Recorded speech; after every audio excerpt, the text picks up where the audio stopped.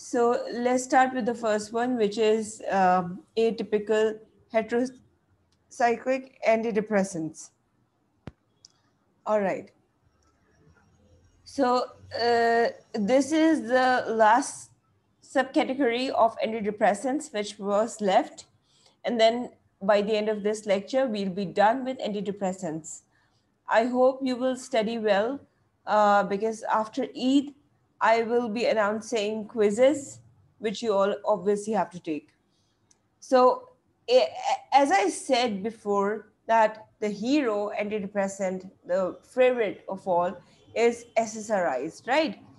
As you go further down, so you see um, uh, all of them start to become the second uh, choice of drug. They're no more the first choice of drug, right? So uh, when we'll talk about atypical heterocyclic antidepressants, so they are not any more efficacious than the TCAs or SSRIs, but their side effect profiles are different.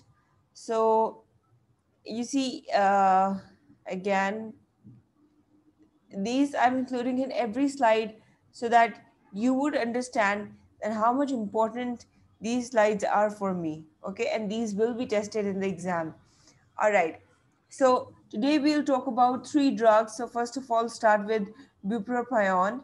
So it's a weak dopamine and norepinephrine reuptake inhibitor to elevate symptoms of depression. Its half-life is very short. So that is why frequent dosing is needed or you just administer um, extended release formulation right? Okay Secondly, bupropion is um, uh, bupropion also assists in decreasing the craving and attenuating the withdrawal symptoms for nicotine and tobacco users. So all those people who are trying to quit smoking, they can use this drug, which is called bupropion, okay, so that the craving and withdrawal uh, symptoms would be lessened up, right? Okay, now, what are the side effects of this drug? It, it includes uh, dry mouth, sweating, nervousness, tremor, a very low incidence of sexual dysfunction, and an increased risk of seizures at higher dose. So it is metabolized by cytochrome 2b6 pathway and is considered to have a relatively low risk for drug-drug interactions the daily dose of bupropion should be within the manufacturer's recommendation to minimize the risk of seizures.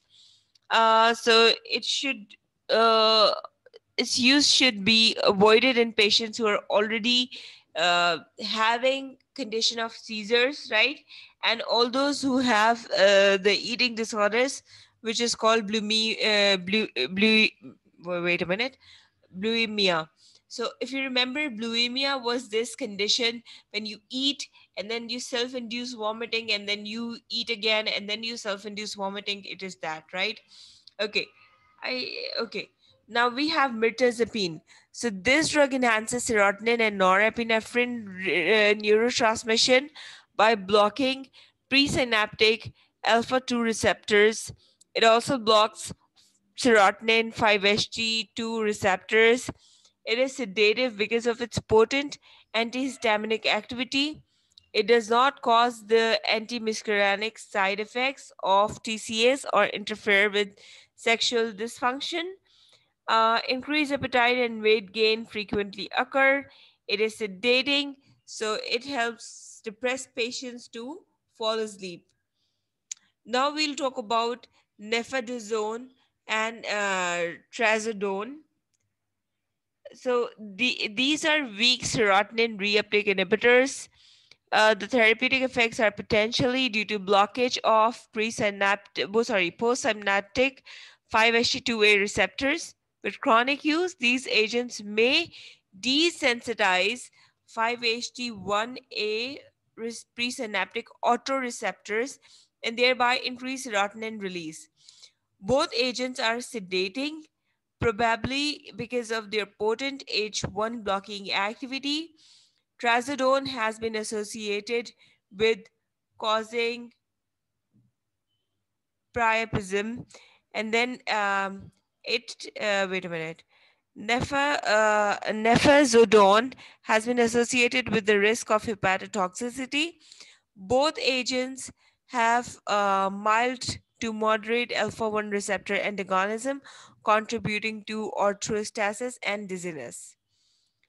Uh, thank you so much, everybody. Wait a while while I switch